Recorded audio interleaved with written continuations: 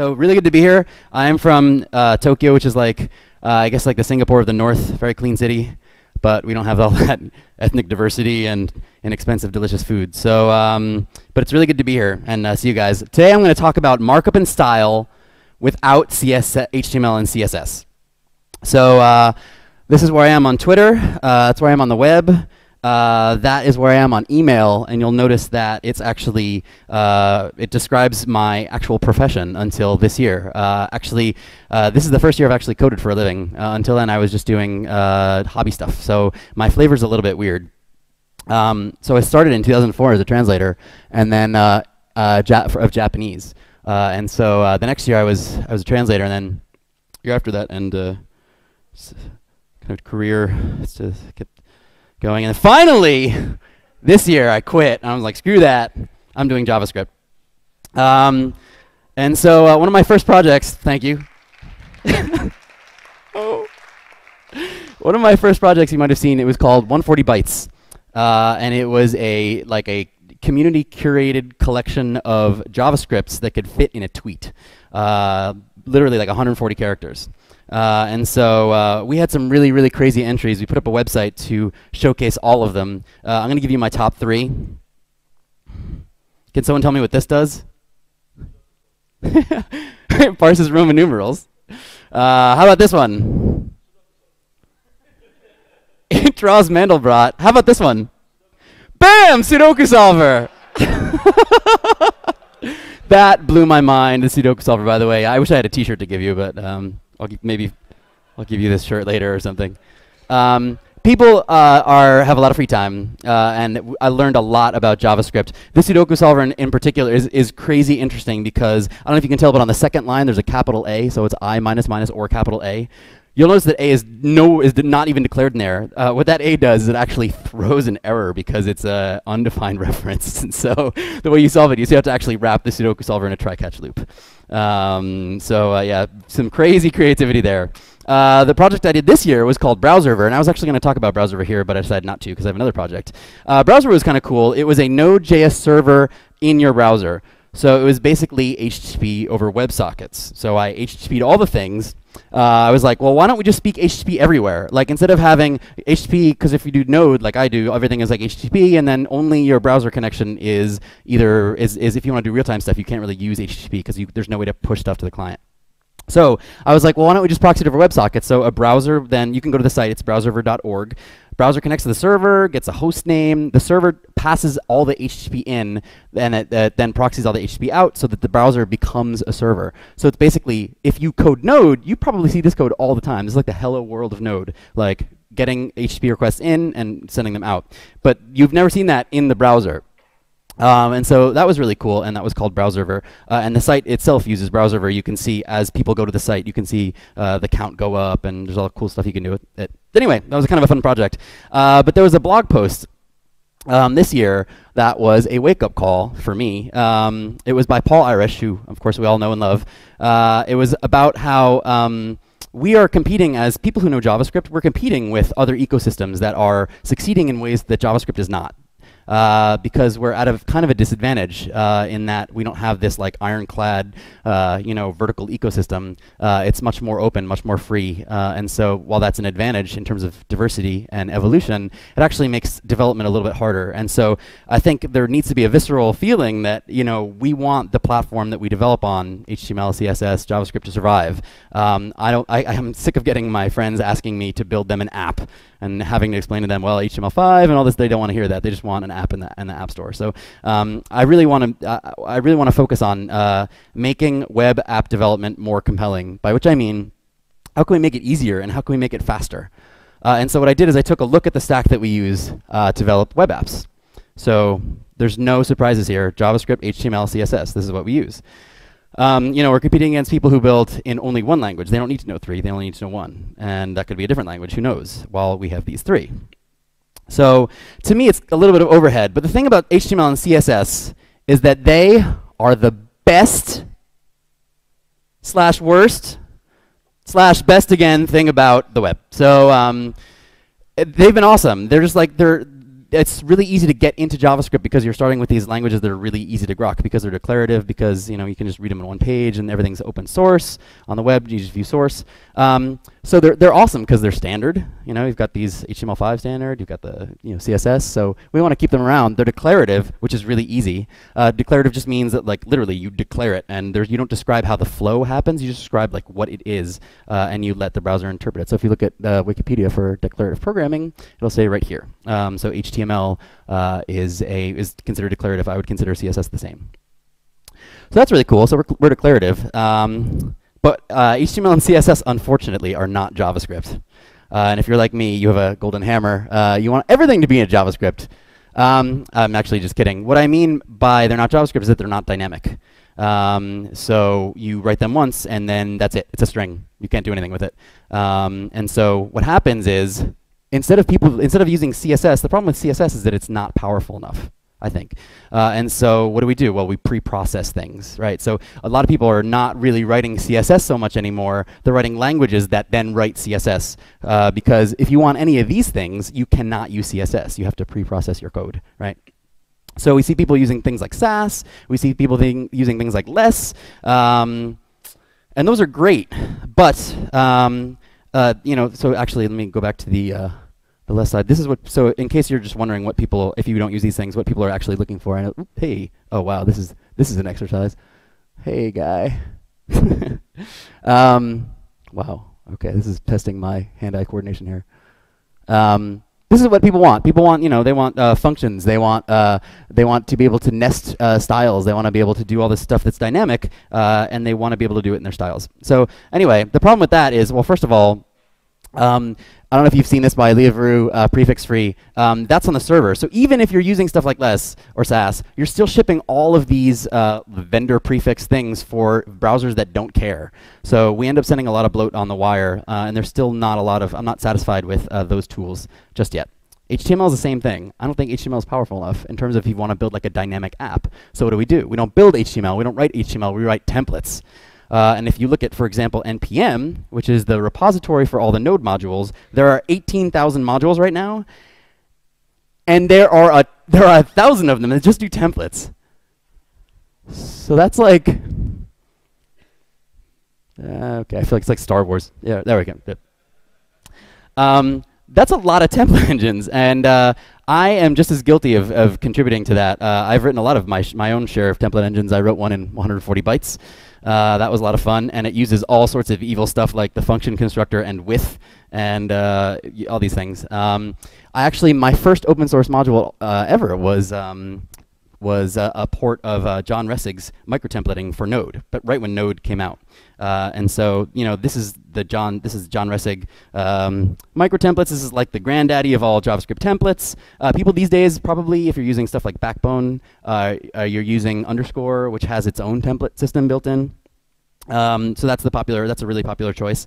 Um, people also use Mustache, uh, which is a big one. Mustache is cool because it's in all sorts of languages, and they call it logicless templates. So I don't know about you, but that to me is logic. um, so uh, anyway, you can't pull logic out of templates. If you pull all the logic out of templates, then they're not really useful anymore, I think. Uh, and so, um, so you have, uh, so even if you decide to use something like a mustache, um, what you do is, as Eric was talking about earlier, you do a hack like this where you have a script with a type that isn't recognized and you can just dump your template in there. Uh, and to me, this it reminds me of uh, of. Do you guys remember? Uh, this, this is like a kind of a big blog post in 2002. As actually before I was coding, but um, to me, obtrusive JavaScript uh, now is the HTML is obtrusive. Now that we're building apps that are like JavaScript first and HTML second, like the HTML starts to be obtrusive. And so this is what I really see when I see templates. So for example, um, if you do the strategy of injecting that script in the, your document, now you have to go to that script element. You have to find it. You have to pull out its inner HTML to get the script source. Uh, then you have to run that through a function to create a function. Uh, and then you have to give that function an object of your data to create an HTML string, which you then pass to jQuery to create a DOM object which is like crazy. The fact that we put up with this, it's like uh, that's a lot of work. Um, and that's not even enough because well I mean well you could just you could keep using that and that's I mean I this is what I use when I when I uh, build stuff and but what about stuff like this do you get does you guys uh, have you heard of uh, Chrome apps the packaged apps coming up. Um, it's kind of it hasn't really it's I don't think it's actually officially launched necessarily yet, but it's crazy cool. Uh, you can build all sorts of cool stuff using Chrome, and they're putting all sorts of new APIs in it. Like you can have a TCP server in your browser uh, and all sorts of cool stuff. But if you look at package apps, and this is I think going to be a very big platform right up there with Firefox OS, uh, you have to comply with CSP, which is their content security policy which is really boring, but basically says uh, you can't use the function constructor. Okay, well, guess what? All of your template engines use the function constructor. So you're not going to be able to use any of your template engines unless you're using some sort of sandboxing thing, and then your code is just that much more complicated. So anyway, so we have these three languages, but not really because we don't actually code in these three languages. We code in these three languages, right? Okay, so, well, that's great. So all we've really done by coding in these almost languages is that we've just switched these two which to me is a step backwards. Uh, so here's what I want. Uh, I don't want this, I want this. Okay, so to TLDR, if I could sum it up in one sentence, let us kill CSS and HTML and resurrect them in JavaScript. Okay, so this is, this is the thesis here, okay? So in, less, in, in a less Y Combinator Hacker News flame baity way, I would say let's port CSS and HTML to the syntax of JavaScript. Okay, so this ba basically JavaScript, obviously very dynamic. Uh, now, why don't we just write these things that we use in these other serialized languages using JavaScript? And I've done that, and it's called Domo. Okay, so this is what I'm going to talk about. This is my library, Domo. Uh, so Domo is markup, style, and code in one language. And that language happens to be JavaScript. So it's right here if you want to check it out. Uh, make sure you look at the source and go to GitHub. Uh, and you know what? It's not big. It is, uh, it's like 1.3K uh, mini-zipped. So it's not like a big commitment. It doesn't do a lot of things. All it does is create DOM. That's all it does. You can still use it with jQuery. You can use it with Backbone. You can use it whatever you're using now. But in the in, in the part that you're creating DOM, it just fills that. So instead of using templates or CSS preprocessors, you're using, you're using this. So you can do all this stuff in one language with JavaScript syntax.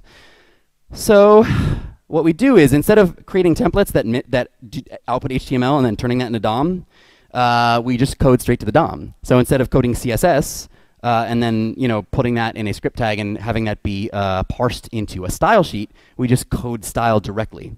So basically, the big switch for the the way that y'all might be used to doing apps is basically this. So instead of having JavaScript that creates HTML and then that HTML then gets converted into DOM, you just turn these two things around.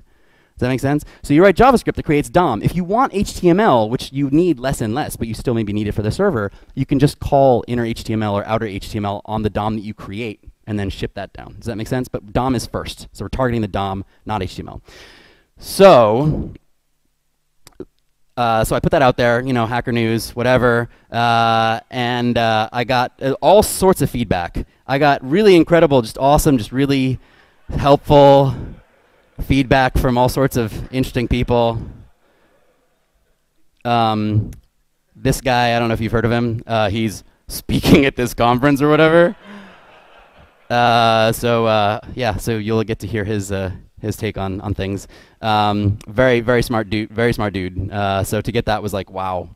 But I thought this tweet was so much awesomer because it was followed by this tweet. Any sufficiently advanced JavaScript framework is indistinguishable from parity. Oh, that made my day. Uh, and you know, this is not a new idea uh, of you know kind of unifying in one syntax. Uh, you guys remember why uh, he did this with Markaby, uh, not with CSS, but more with HTML and Ruby. So it's like you're writing Ruby, but it looks like HTML. Uh, there is in languages like Clojure. This is a big thing because Clojure itself is a homo-iconic language. So like Clojure itself looks like markup. You're basically it's a recursive tree of things, and so that's our HTML is a recursive tree of things. So it maps really, really well. And so this approach is actually not necessarily new. Um, but uh, I have uh, added my flavor to it. So, how does it actually work? Here's how it works. Uh, you start with HTML, okay? So, who here knows HTML? who here hates it when speakers ask you to raise your hand? Yeah, yeah, yeah. I hate that. I can't hear you. What? Uh, don't do that. Um, anyway, so uh, so that is HTML. All right. So so HTML element. Okay. Everyone knows an HTML element. It has, uh, it has three parts, okay? The first thing is it has a node name. In this case, it's an anchor tag that's an A. Second thing it has is it has a map of attributes. So in this case, there's only one attribute, it's href, and it has this string about .html. The third thing this has is child nodes, which is a list. This list is only one thing. It's a text node, and it is about. Okay, so that's HTML. So let's recreate that in JavaScript. Okay, so I have a function, domo element. Okay, so this is we're gonna we're gonna start here. So there's you so you, you load Domo. It's a you know 1.3k, uh, and it has uh, you know just puts a global Domo object there, and has an element function, and that element function takes three arguments. Super super easy. So this is how you would do that in Domo. Now you'll notice this code sucks because it's really really verbose. All right, so the idea is start with just the pure implementation. This is This is really, to me, it's very intuitive. Uh, but then let's sugar it up so that it looks more like HTML, so it's more comfortable. Okay, so the first thing we're going to do is Domo has one function for each of the 110 HTML5 elements. Okay, here they are. All right, so that's easy. So then instead of writing this, we can just write this. Okay, all right, so that's the first step of sugaring this thing to make it easier. Well, actually, the about is an array, but as you know, JavaScript uh, can take uh, variadic, it can be variadic, so you can actually pass n functions because there's an arguments uh, array-like thing. So you actually don't need that to be an array. Everything after the first uh, thing, the first thing is attributes. Everything after that are the child nodes. Does that make sense? So that's like a little more noise we can take out of this. Um, and so this is cool. So now this thing that's like href about HTML, we don't, we can just pull that out into a variable right? And so we don't need anyone's permission. We don't need any uh, template languaging, template language telling us what we can and can't do. It's just JavaScript. So you can do anything variables, anything. That whole uh, uh, attributes object itself could be a variable. All the children could be a variable. That could just be a list that you map. Uh, like for example, one of the things you could do with this is if this had many things in it, you could just go like literally like uh, array dot map, uh, you know, and then a function, and then it'd be like li thing. So you just put all those things in li, right? So instead of using these like Franken symbols where everyone's basically recreating Perl in a templating language, uh, you can just use JavaScript. So I'm super, I'm a big fan of that. Okay, cool. So we pulled that out, uh, and now, um, yeah. So uh, so we can we can do stuff like that. Uh, and so let's actually have you noticed what, what changed between this code and this code? This is like a Where's Waldo thing. So you'll notice that here's this like domo.a, so we're on the domo namespace. Here it's just a capital A. What is up with that? Just like every other Java, just like every other JavaScript library using the client, domo auto pollutes. It's, it's convenient by default. This is by design, okay? It auto pollutes. What does that mean? Well, what it means is that it takes every of those 110 HTML5 elements, capitalizes them, and then pollutes the global object okay, which is horrible, but super, super sweet. Because then we can create things that look even more like HTML. All right, now here's the thing about this. It's actually optional, just like jQuery. When jQuery, you can call no conflict, like dollar sign equals jQuery.noConflict, and then it actually unpollutes, and then you have a reference to the jQuery object, and you can do whatever you want with it, right? Domo has the same thing. It's called global. You can call it with false. It'll unpollute the global object, and then you can use Domo to assign things uh, as you'd like. Does that make sense? So convenient by default. All right, so now we can go A, href, blah, blah, blah.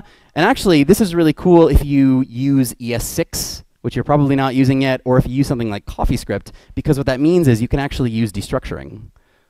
Does that make sense? So if you know what you're going to be using in a given template, you can just be like, well, I'm going to use the A tag and the div and whatever, and you can actually just assign those and just pull them straight off of the Domo object. Because this domo.global false returns the Domo object. Okay, cool. So like, for example, if you're using CoffeeScript, you can do something like this. We don't need vars anymore. We have uh, we have the destructuring, which is cool. Uh, and then on that A, we can actually make that even more CoffeeScript uh, by taking out all of that uh, pesky syntax. Uh, and actually, we can even further CoffeeScriptify that by uh, restructuring. So, so the idea here is, okay, cool. So now this is JavaScript. So instead of relying on some other template engine or some other dude to like implement sugaring and just choosing the thing that's the sweetest, we can just use JavaScript. And if you want it sweeter, if you want syntax sugar, you can just use another language. Just use CoffeeScript or use, I don't know, TypeScript or iced CoffeeScript or whatever the language du jour is. Um, but the idea is it's your choice. So we've decoupled the sugar from the implementation, which I think is very, very important.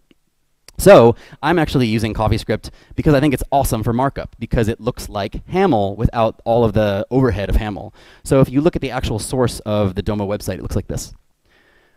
So I don't know if this makes any sense to you, but this is just it's yeah, it's basically just a nested uh, you know declaration of so at the top we have uh, that is a mixin. We'll talk about that later, uh, and that, so the mixin is just a function, and then we have just a nest. So like one thing we're doing that's cool is that style tag type text CSS we're actually using uh, a list comprehension in CoffeeScript uh, to iterate all over those things, and we're using actually more comprehensions there. Uh, and so, you know, you can decide. You can not put logic in your templates. You can put logic in your templates. The point is, it's your decision. So if you just want a function that takes one thing and you just call properties of that, and there's no logic, your thing, awesome. If you want to put logic in your templates because e it's easier in your JavaScript already, then totally do that.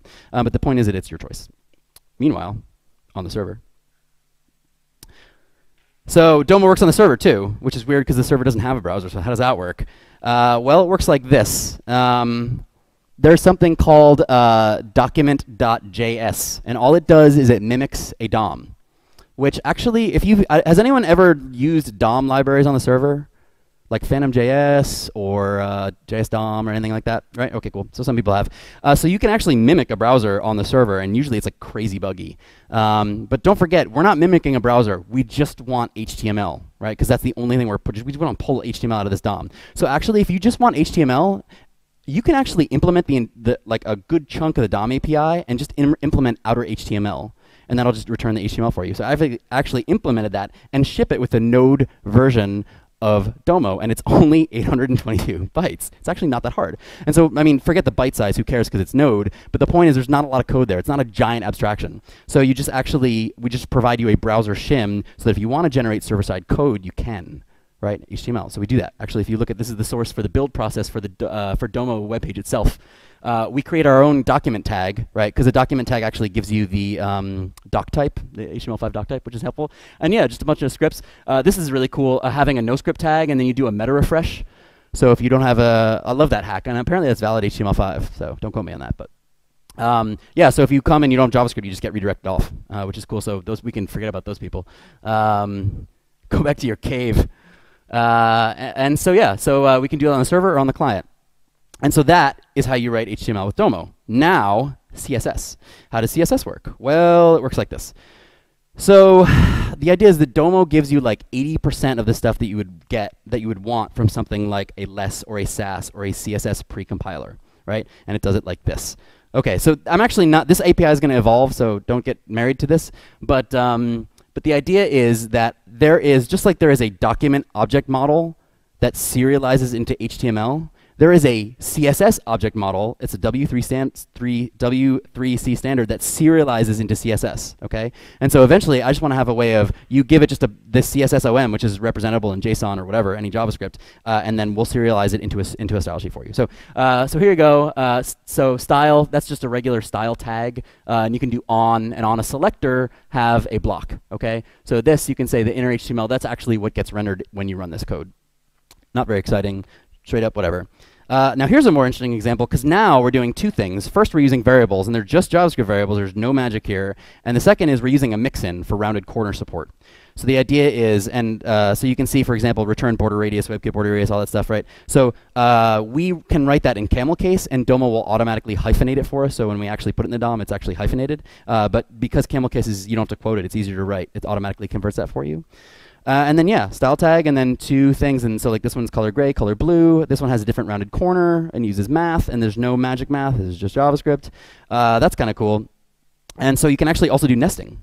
So if you look at these two things are actually identical. One is a with an image inside of it, right? And the second one is defining them in, uh, in parallel. Does that make sense? So the idea is then here's another thing. You can just nest. Uh, and so, okay, so we got uh, um, functions, variables, and mixins for free. The CSS code in Domo right now is literally like 200 bytes mini-zipped. It's not a lot, so it's not huge, right? And so like by solving this problem a little bit more elegantly, uh, I think it buys us a lot of flexibility, which is pretty cool. So you can see this, uh, the mixin actually being used right here. Uh, can you see the mixin being used? Actually, no. I'm sorry. The mixin's only defined there, but it's being used. Anyway, that's how you write CSS in Domo, okay? And so all these things, you write JavaScript and it goes straight to the DOM. It doesn't serialize, it goes straight to the DOM. Um, and so it, a, a, lot of the overhead of, uh, of writing a client-side web app is gone. So here's the trade-off. So here's the pitch. If we are willing to let go of the service syntax of HTML and CSS, here's what we get. Okay, we can reduce our exposure to cross-site scripting attacks, which is cool. So here's the thing, HTML, when you're doing user-generated content, users could put anything in there. And if you put that in your HTML and inner HTML that, you could be in a lot of trouble, right? But when you're using DOM methods, they automatically escape everything for you. So all these template engines ship with an, I like, this thing escape this, this thing escape that. You don't have to do any of that because the DOM does it for you. When you go document.create text node and you put a string in there, that string gets escaped, okay? So you don't have to do any of that stuff, which is really nice. So this, this makes it easier. We don't do, uh, XSS is, uh, is a lot harder because we're doing our escaping at the JSON level, not at the HTML slash JavaScript level, which is very helpful. Uh, we can eliminate a separate compile step. This is really cool. So this stuff renders in the browser really, really fast. It's strings mostly. Um, so it renders very fast, which is really nice. Uh, and so you can have a separate compile step. Like if you don't want to compile the CSS in the browser every single time, you can just compile it on the server and send it down through a link tag, right? It's your choice, right? It's going to be the same thing anyway. But the idea is that uh, you get to decide where you do that. So you don't have to have a separate compile step unless you want to optimize and have one, right? And the cool thing is, the reason why this is easier is because we don't need to put a parser because we already have a parser. We already have JavaScript. Does that make sense? So usually, if you use Less or Sass, like they have or CoffeeScript or anything like this, you can actually put a parser in the browser for all of them, and it's always crazy slow because parsers are slow, right? So by writing a language that's already parsed anyway, uh, we can actually avoid that altogether. We can write our DOM code where it makes sense. Uh, if you guys write Backbone apps, uh, you do like a view and it comes with like uh, an element, and like you're like, okay, cool and then you like inner HTML something in that element, and then you're like, okay, actually I want a template for this. Once you want a template, it just gets really, really complicated because then you have to have script tags that have like text in them, and you have to like render them, and then well, you shouldn't really do it in the client because it's slow. You got to render on the server, but then you have a compile step, and so you can, with this, because it's all just JavaScript, you just put your DOM code where it makes sense to you. If you want to separate it for separation is a concern because you have designers or whatever, totally do that. It's totally easy. Uh, but the idea is that you kind of you choose. You can use JavaScript syntax everywhere since we already know all of it. There's no secret symbols to learn. Uh, you can decouple your syntax sugar because you can use CoffeeScript or wherever you want. That's really nice. So if you want to use straight up JavaScript, awesome. Uh, we don't put any style choices or uh, impose any style choices. You can reduce the number of moving parts. So instead of having this thing where you have strings that get compiled into things, it, can be, it goes straight from JavaScript to DOM. So uh, it, you can really reduce the number of moving parts and you can reuse existing infrastructure, which is nice. So like when you think about HTML, CSS, and JavaScript, JavaScript is getting the most attention because people are competing on JavaScript. You know, people V8 is, is competing. The, all these people are competing on JavaScript, and so think about things like source maps. Like, so we have source maps for JavaScript. Well, there's no reason why you couldn't use a source map for your CoffeeScript uh, style sheets. Does that make sense? You can just reuse that infrastructure. If you have an infrastructure for minification, it's the same one. You don't need a CSS minifier too. You just minify your JavaScript and then send it down. Um, so anyway, you can uh, all, all this stuff you, you just like unify on kind of one infrastructure by using the same in, uh, syntax. The last thing is you lessen the burden of context switching. Now this is big for me because my career until this year was context switching. It was literally Japanese English, Japanese English, Japanese English, and so like I am much more effective dealing with one language. Uh, and so the idea of this is that there's only one syntax. You don't have to duck back and forth between two languages. And so I think it makes writing apps, you know, you can one page everything if you want to, or you can split it out uh, if you want to, but it's your choice. Uh, and the context of having things in different files and different kind of escaping mechanisms doesn't exist anymore. So that is the pitch. So thank you guys for having me.